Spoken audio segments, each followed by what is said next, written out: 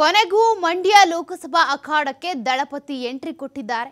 ಮಂಡ್ಯ ಲೋಕಸಭಾ ಕ್ಷೇತ್ರವನ್ನ ಗೆಲ್ಲೋದಕ್ಕೆ ಕುಮಾರಸ್ವಾಮಿ ಒಂದಷ್ಟು ರಣತಂತ್ರವನ್ನ ಕೂಡ ಹೆಣೆದಿದ್ದಾರೆ. ಗೆಲ್ಲುವ ಹಾದಿಯನ್ನ ಸುಗಮ ಮಾಡ್ಕೋಬೇಕು ಅಂತ ಎಚ್ ಡಿ ಕುಮಾರಸ್ವಾಮಿಯವರು ಈಗ ಮುಂದಾಗಿದ್ದಾರೆ. ಹಾಗಾದ್ರೆ ಈ ಬಾರಿಯ ಲೋಕಸಭಾ ಚುನಾವಣೆಯನ್ನ ಗೆಲ್ಲಬೇಕು ಅಂದ್ರೆ ಏನೆಲ್ಲ ರಣತಂತ್ರವನ್ನ ಮಾಡ್ಕೊಳ್ತಾ ಇದ್ದಾರೆ? ಈಗಾಗಲೇ ಕಾಂಗ್ರೆಸ್ ಆಪರೇಷನ್ ಹಸ್ತದ ಮೂಲಕ ಒಂದಷ್ಟು ಜನರನ್ನ ತನ್ನ ತೆಕ್ಕೆ ತೆಗೆದುಕೊಂಡಿದೆ. ಆ ಭಯ, ಆತಂಕ ಕೂಡ ಎಚ್ ಡಿ ಕುಮಾರಸ್ವಾಮಿ ಅವರಿಗೆ ಶುರುವಾಗಿದೆ.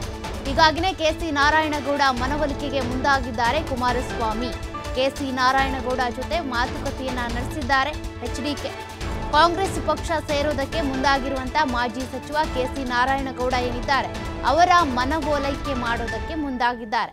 ನಾರಾಯಣಗೌಡಗೆ ಗಾಳ ಹಾಕಿದ್ದ ಸಚಿವ ಚಲುವರಾಯಸ್ವಾಮಿ ಮತ್ತು ಟೀಮ್ ಕೃಷಿ ಸಚಿವ ಚಲುವರಾಯಸ್ವಾಮಿ ಮತ್ತೆ ಅವರ ಟೀಮ್ ಮಾಡಿದಂತ ಕೆಲಸ ಏನಿದೆ, ಅದಕ್ಕೆ ಕಲ್ಲು ಹಾಕೋದಕ್ಕೆ. ಅಂದ್ರೆ ಕೆ ಸಿ ನಾರಾಯಣಗೌಡ ಅವರನ್ನ ತಮ್ಮ ಪಕ್ಷದಲ್ಲೇ ಉಳಿಸ್ಕೋಬೇಕು ಅಂತ ಮನವೊಲೈಕೆ ಮಾಡೋದಕ್ಕೆ ಮುಂದಾಗಿದ್ದಾರೆ ಎಚ್ ಡಿ ಕುಮಾರಸ್ವಾಮಿ ಅವರು. ಈಗಾಗಲೇ ಒಂದಷ್ಟು ಭಯ ಶುರುವಾಗಿದೆ.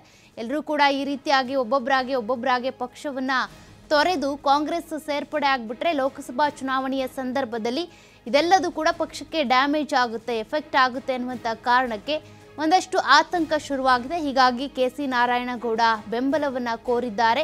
ಮಾಜಿ ಮುಖ್ಯಮಂತ್ರಿ ಎಚ್ ಡಿ ಕುಮಾರಸ್ವಾಮಿ ಅವರು. ಯಾಕೆಂದರೆ ಕೆ ಸಿ ನಾರಾಯಣಗೌಡ ಕೂಡ ಕಾಂಗ್ರೆಸ್ಗೆ ಸೇರಬೇಕು ಅಂತ ತುದಿಗಾಲಲ್ಲಿ ನಿಂತಿದ್ದಾರೆ. ಹಾಗಾಗಿ ಅವರ ಮನವೋಲೈಕೆ ಮಾಡುವಂಥ ಪ್ರಯತ್ನ ಮಾಡಿದ್ದಾರೆ.